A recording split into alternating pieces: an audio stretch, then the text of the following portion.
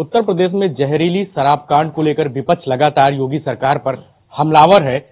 उत्तर प्रदेश के आबकारी मंत्री हमारे साथ हैं, हम उनसे बात करेंगे कि पूरा घटनाक्रम क्या रहा और सरकार की तरफ़ से अब तक क्या कार्रवाई की गई है। जो घटनाएँ अभी छह तारीख को और उसके बाद, दो दिन बाद सहारनपुर में, आठ तारीख को, ये दो अलग अलग घटनाएँ थी। कुशीनगर में जो घटना हुई थी, उसमें आठ लोग की मृत्यु हुई थी और गाँव वाले के चिन्हित करने तक तत्काल उसमें मुकदमा लिख के और दो व्यक्ति को गिरफ़्तार किया गया और उसके बाद उसकी छानबीन शुरू की गई।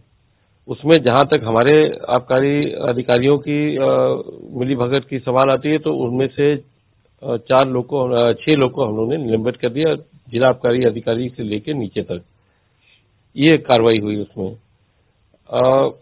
फिर इसके बाद अभी इसकी जाँच अभी और चल रही है और इसमें कुछ तथ्य ये भी मिल रहे हैं कि शायद ये शराब का इसका जो निर्माण हो रहा था, ये बगल के बॉर्डर पार करके किसी एक गाँव में हो रहा है।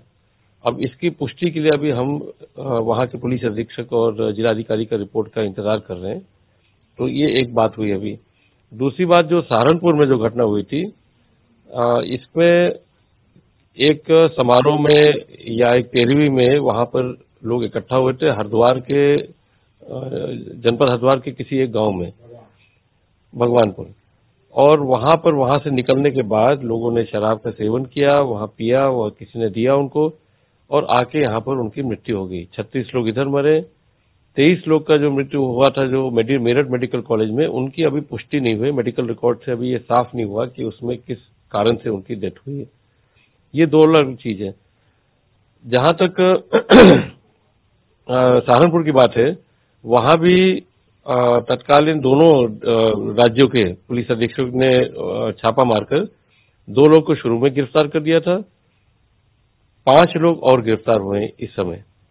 उसमें भी हम लोग ने सीधा सीधा वहाँ तक पता लगा लिया है और उसकी भी शायद आज या कल में पुष्टि हो जाएगी कि जहाँ तक उसके तार जुड़े थे बहुत बड़े पैमाने पर वहाँ पर एक गोडाउन में एक जगह बन रहा था और वहीं से संचालन होता था। सब डीलर टाइप के बने हुए थे, उनको दिया जाता था। एक बहुत बड़ा नेटवर्क बना था वहाँ पर। दोनों जगह हम लोगों ने देखा है कि एक नेटवर्क के रूप में वहाँ चल रहा था काम। तो ये तो ये दोनों घटना से के कारण ये सब हुआ है।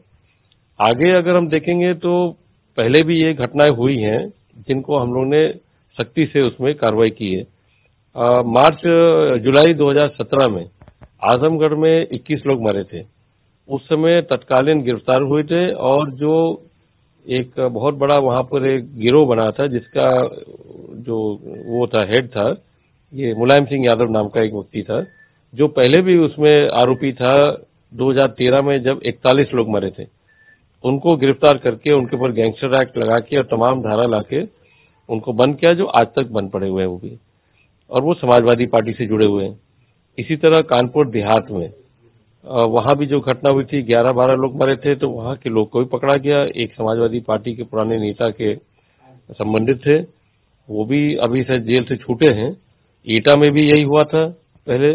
और ऐसे तमाम जगह जहाँ हम लोग पता लगाते हैं, जहाँ भी कहीं राजनीतिक संरक्षण किसी पार्टी द्वारा हो या किसी भी द्वारा हो, इधर हम लोग पूरी सख्ती से सभी पर छानबीन करके और इधर हमारे माननीय मुख्यमंत्री जी ने एसआईटी भी दाखिल कर दिया एसआईटी का गठन कर दिया एसआईटी के द्वारा ये सारे जांचें हो रही है और प्रदेश के अंदर जहाँ जहाँ इस तरह के छापे मार रहे उन पर भी नज़र रखा जाएगा कि वो किसी से जुड़े तो नहीं है, किसी राजनीतिक संरक्षण के द्वारा तो नहीं है या किसी माफिया गिरोह के द्वारा नहीं है।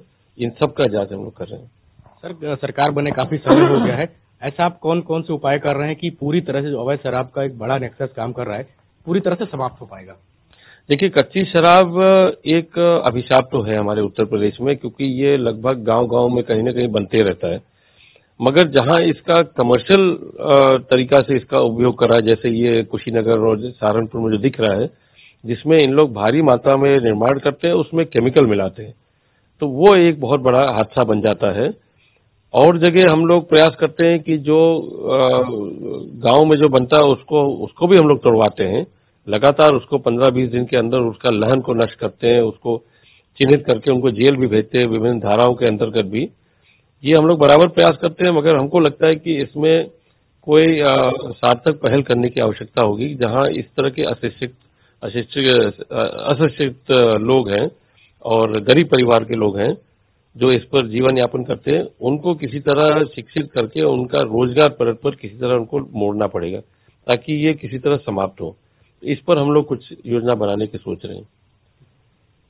तो ये थे उत्तर प्रदेश के आबकारी मंत्री जय प्रताप सिंह, जिनका ये कहना है कि इस पूरे घटनाक्रम को लेकर समाजवादी पार्टी के कार्यकर्ता या समाजवादी पार्टी से जुड़े लोग इस शराब कांड को लेकर शामिल थे, सरकार कार्रवाई कर रही है।